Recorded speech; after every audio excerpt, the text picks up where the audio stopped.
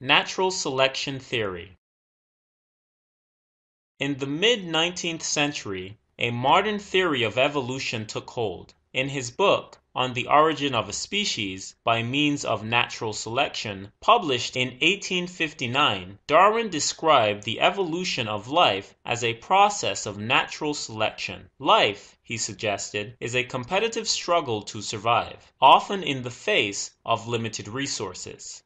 Living things must compete for food and space. They must evade the ravages of predators and diseases, while dealing with unpredictable shifts in their environment, such as the changes in climate.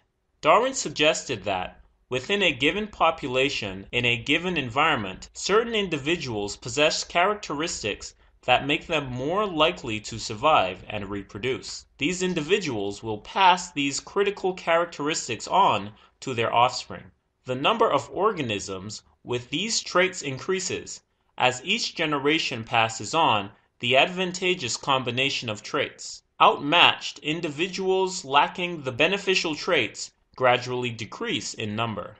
Slowly, Darwin argued, natural selection tips the balance in a population toward those with the combination of traits or adaptations best suited to their environment.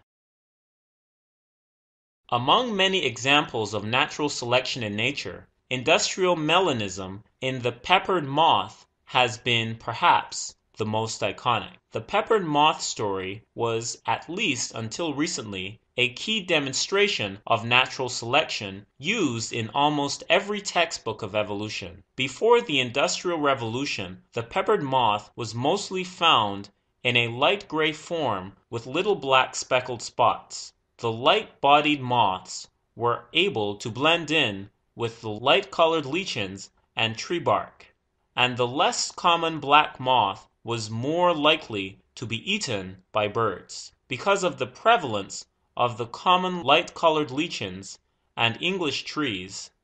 Therefore, the light colored moths were much more effective at hiding from predators, and the frequency of the dark allele was about 0.01%. During the early decades of the Industrial Revolution in England, however, the countryside between London and Manchester was blanketed with soot from the new coal burning factories. Many of the light bodied lichens died from sulfur dioxide emissions, and the trees became covered with soot. This led to an increase in bird predation for light colored moths, as they no longer blended in as well in their polluted ecosystem.